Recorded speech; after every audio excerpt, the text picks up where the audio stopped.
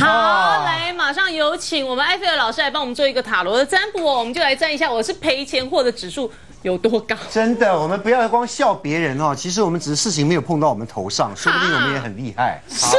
我们来看一下这一题，那个我们来的塔罗牌测验哈，不管男生女生其实都可以测了哈，因为男生在谈恋爱的时候也有可能就是哎帮别人在养老婆，搞不好也是这样子了哈。我们来看一下这个 塔罗牌，这句话很犀利，真的真的。我们这个主题呢是跟刺青有关哈，我们来看有哪五个刺青的图案。那第一个图案呢是一个老鹰的图案哈，一个老鹰图案。那刺青的位置是在这个女生的腰部。好，那第二个图案呢，是一个这个猫头鹰跟月亮的图案。那刺青的位置是在这个女生的大腿的部分，哈，比较隐私的部位。那第三个图案呢，是一个日本的这个呃这种船的图案，哈。有点像那个呃浮世绘的这个图案，那刺青的位置在这个男生的这个手臂的部分。是。那第四个图案呢，是一个蜥蜴哈，跟一个这个一个一个留着胡渣的一个男生哈。那刺青的位置是在这个男生的背部。那第五个图案呢，是一个蜘蛛跟蜘蛛网的图案，刺青的位置在这个男生的胸部。那凭大家的直觉选一下，我们来看一下哈。这感情卡看起来都超吸引人，好想送钻表给他哦。好，我们来看一下感情中你是赔钱货的指数有多高，请选择。第四个。中博好，第五个，好，好，来第一个，好，我要第三个，好，周老师，我也第三个，杜林哥，我跟我真想选第四个，但是中博选了第四个，因为中博不用看你就是感情的赔钱货。定啦！我换一下，我换第一个啊！是哦，我想说第一个根本就是我的自画像。真的好，相信大家都选好了，好，观众朋友也选好了。那目前就是二号没人选哈，猫头鹰没人选。我们来看一下，如果选到猫头鹰的话哈，那观众朋友你在感情中赔钱货指数有多高？分数越高的话，代表说越赔钱哈。我们来看一下，哎，赔钱或指数是六十分，有点高了。是什么原因呢？是盲目被骗哈。对，代表是说在感情里面哈，你比较是属于比较感性派的，比较是呃感情用事的人哈。所以当呃你一遇到感情的对象的时候，你可能这个理智就会忽略掉了。所以呢，当对方跟你的花言巧语啊、甜言蜜语说一下要你掏钱、掏心、掏。掏钱之类的哈，你就会自动给他了。所以选到这张牌，这个被骗的指数是六十分，所以呢，你有点赔钱货了。是。好，我们来看一下哈，刚刚有中博哈，刚刚赌林哥说这个四号牌哈，这个中博选到哈，到底是不是如赌林哥这个直觉所说哈？我们的中国的赔钱货指数有多高？马上来帮大家看一下哈，赔钱货指数。你看，你看，赔钱货，为什么赔呢？是这个真的很伤，很准，很准，很准，很准哎。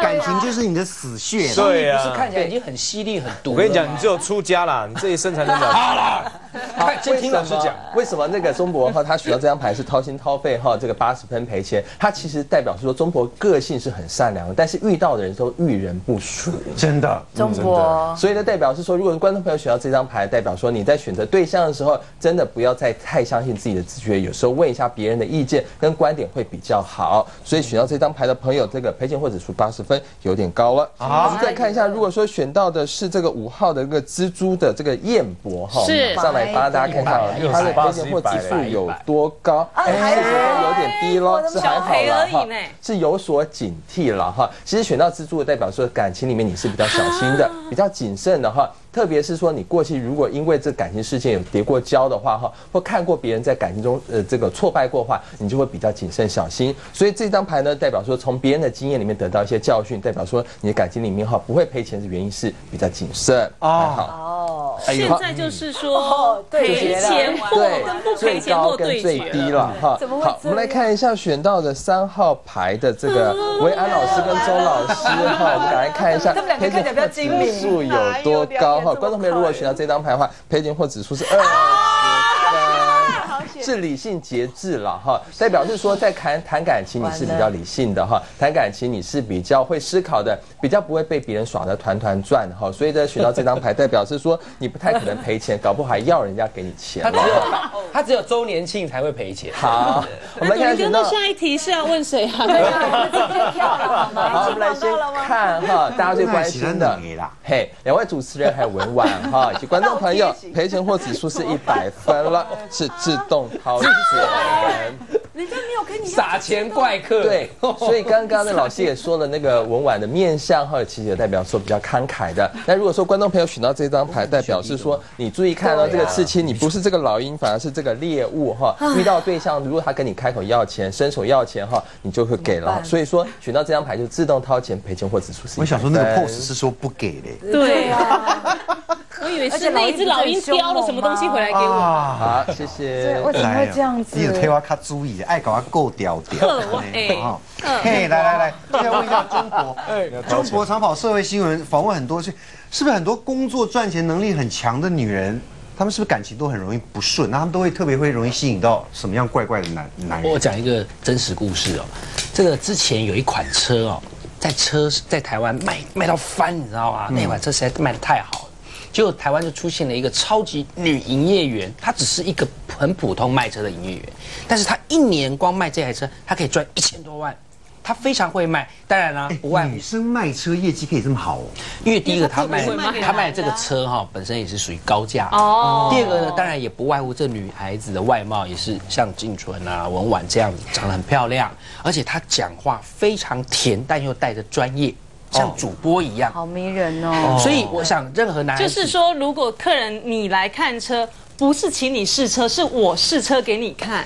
有哦没有如果是这样的话，可能会买五辆。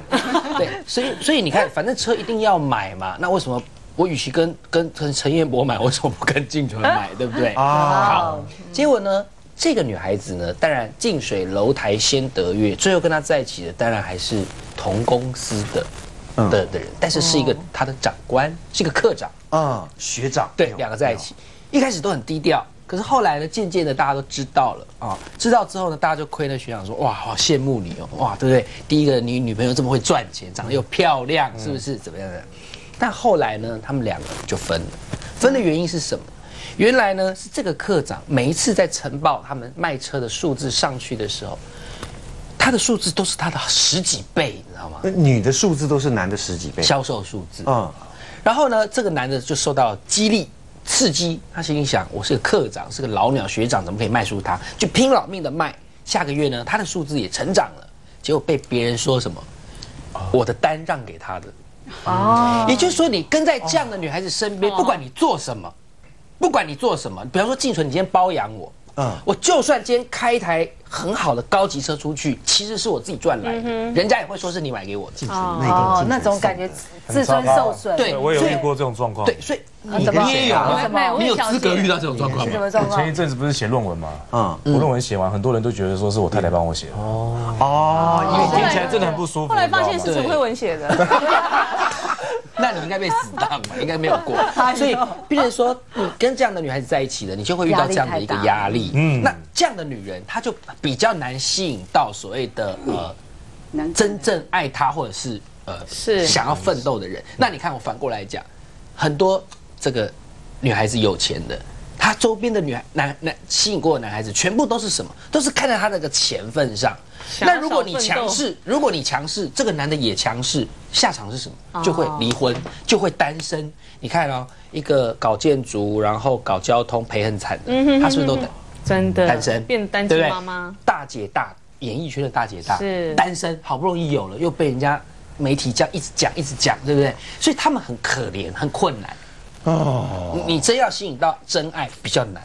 嗯。倒是哎、是啦，嘿，来，好，来，维维老师，我们就来看有哦。哪些星盘组合的男人哈，挑对象的时候，他真的会考虑对方的经济能力哦。对，大家嗯不要觉得说这个是现实，而是说呢，他在挑对象的时候不一定是看外貌，他会考虑到其他的因素。比如说呢，像太阳上升在土象星座摩羯、金牛、处女呢，他一定会衡量多方面，他会衡量本省、外省，还有宗教信仰、政党的党派，还有对方整个的家世，而且他要的不只是有钱，他要的是稳固。比如说你也有钱，但工作不固定，跟很很一般，但是上班族很固定，他可能要上班族，所以他会想非常多，甚至于还会想到对孩子的教育问题。比如说你的工作是很忙，没有办法陪孩子，或者是说你的工作呢很复杂，将来会带坏小孩，这些他通通都会考量。所以他娶老婆的绝对不是单看外表了，啊，那也太理性了吧？非常理性，什么事都会考量的很那个。挑什么啊？好，所以对他来讲，很多人都是网络或相机，因为就条件都先列出来，就不用太担心啦。哦。